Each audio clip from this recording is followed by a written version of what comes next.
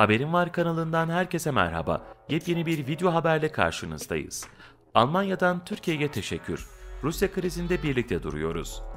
Güçlü Almanya-Türkiye ortaklığı için Dışişleri Bakanı Mevlüt Çavuşoğlu'na teşekkür eden Almanya Dışişleri Bakanı, Rusya krizinde birlikte duruyoruz dedi. Almanya Dışişleri Bakanı, Brüksel'de Dışişleri Bakanı Mevlüt Çavuşoğlu ile görüştü.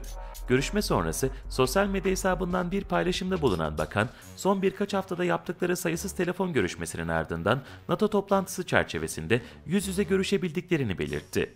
Bakan, güçlü Türk-Alman ortaklığı için Mevlüt Çavuşoğlu'na teşekkürlerini ileterek Rus krizinde birlikte duruyoruz ifadesini kullandı.